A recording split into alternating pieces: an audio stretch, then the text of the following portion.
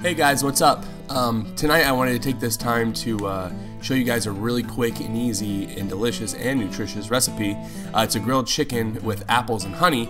Um, it takes about 45 minutes, so it takes a little bit of time, but it's pretty quick and it's delicious. I promise you, it's really good. In fact, I don't even have any to show you because I, I, ate it all, so I'm going to have to show you pictures.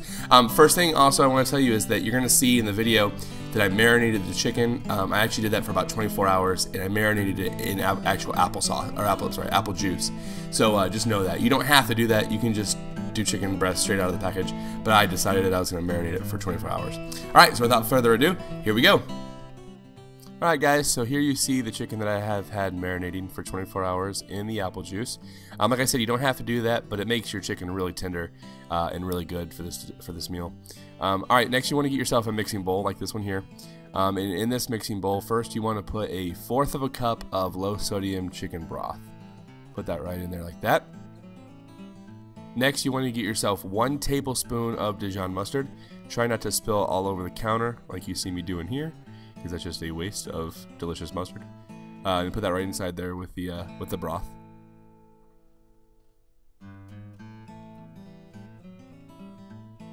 Next, you want to get yourself uh, two teaspoons of raw honey. Uh, you can buy the honey at the store, no big deal. Although it'd probably be pretty good with real bee honey. I might try that next time. Anyways, two teaspoons right in there like that.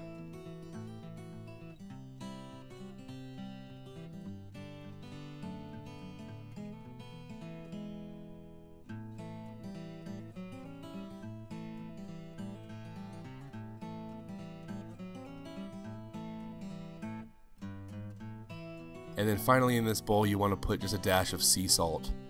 About that much is good, right in there like that. Get my mustard out of the way. And then you just want to whisk this. You want to whisk this and get it good and mixed up.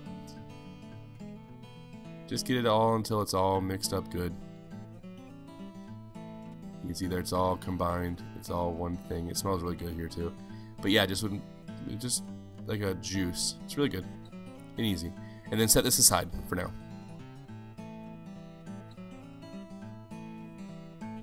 Alright, next, get yourself a little plate or a bowl or anything and put one uh, teaspoon of olive oil. Put it right there on the plate. And then I'm going to take this plate and kind of roll it around so the oil goes all over the plate. Like that. You want to take your chicken breasts and you want to cut them in half so that you uh, have smaller chunks and then you want to take these chicken breasts and you want to just kind of rub them all over the olive oil. Get yourself a nice coating. Don't go too crazy. Just get yourself a nice coating of olive oil all over all the chicken breasts. Um, you're gonna you can use as many as you want. I have three chicken breasts here, and I uh, cut them all in half for six pieces. So, and then at this point, I'm gonna take the chicken and I'm gonna put it on the grill. Just make sure that the chicken grills up normally. Okay, next you're gonna need uh, half of a medium onion and two Granny Smith apples. Chop those up, bam, bam, bam, and boom! Look at there we have chopped apples and uh, one half of a medium onion. Do a thin, do thin sliced. You want to have those very thin sliced. You want to get the, the skin off the apples as well. Um, and then you want to get yourself a frying pan. Put yourself in uh, three teaspoons of the olive oil. And you want to do this on just over medium, about medium high heat. Um, get that oil around in there like that. And then in this pan, you're going to add the apples and onions right in there like that.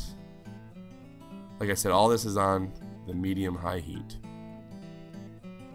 Then you just mix this up a little bit, just for a second, get everything kind of spread around in there, mixed up a little bit, so the onions and apples are all kind of together.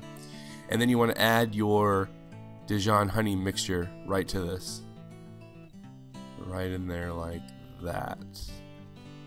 Now you're going to let this cook um, at the medium high heat for about 8 to 10 minutes. You want the apples to be really nice and soft and tender, and then you want the sauce that's inside of there with it to form into a sauce consistency. You don't want it to be liquid like you see here. You want it to look more like this when it's done. So you see all the tender apples and you see the juice is now a sauce form. Then you go ahead and get your chicken off the grill whenever that's ready to go. And that's what that looks like. Looks delicious. There's your apples that are all done chicken again. Chicken is so good. with the apple apple juice. Oh, it's so good. And there it is on the plate. You just want to serve the apples on top of your chicken breast. I made up some noodles to go with it. And uh, there you have it, a delicious chicken meal. And here's the uh, nutritional information about it. And this is per serving. Uh, so this chicken here has 278 calories, uh, 8 grams of fat, uh, 294 milligrams of sodium, uh, 20 grams of sugar, and 25 grams of protein. It's very delicious.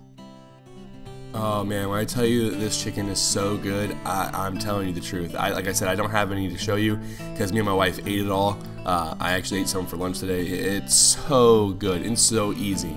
Um, so I'll see you guys next time um, with some more tips, some more recipes, and uh, helping you guys lose weight. See you later.